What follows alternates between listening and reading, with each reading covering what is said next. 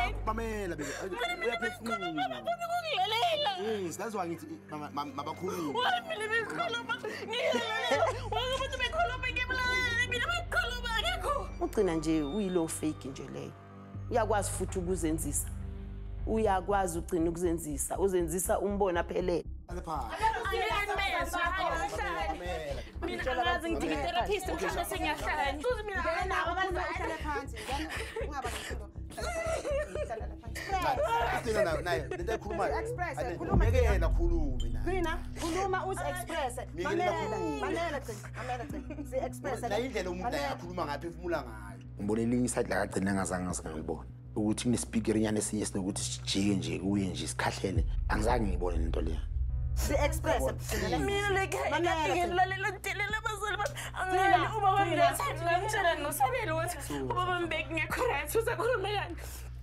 ngaze ngayivuma ngomeeting ngigqokisa ukuthi ubaba wami akekho right mekhuluma but still aniyezwa le nto le. Angazi mhlawumbe mina ngibe ubaba wami ngingene phakathi kwakhe ngishitshe into ezenziwe ukugcina nje e- eziningi azisiphi uthando lukagcina loluthini ebesimpha lona akasiphi thina back uthando lwethu? So makangasiphi uthando lwethu back that means usabelo usenkingeni usenkingeni nje nzima nzima nzima usabelo usabelo shuthi usazohotlelela izinto ezingekho aloku abekezelele nje ukuthi ngiyamthanda ugcina Sizokubiza ukuthi sizozwana. Sizocela iphisi kuwe ukuthi kube mnandi kube right. Ayikho into esizokulwisa ngayo la sisi. Angeke sibabize abazali bakho. Wena wo owethu la ekhaya. Kumele sikhulume nawe okungasiphathi kahle la ekhaya.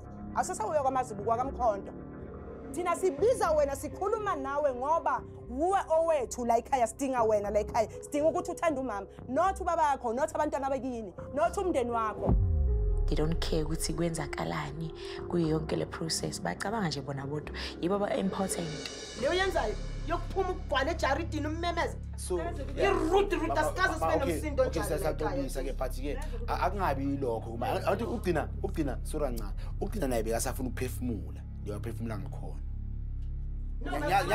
uphefumula kwakho mamede sorry sorry yazi why mamede uyengibona ngakhona ukuthi makasaphefumula anemuki ukuthi acelebakuzophefumula kanjani mangabe kungukuthi aphakamele waphakama khona yorasa lapha esitradeni thina singabantwana bala asikaze silwe siphume esitradeni siyobangusibe esitradeni asikazi And umakoti lo. la ekhaya umndeni wami umndeni oyihloniphayo kakhulu.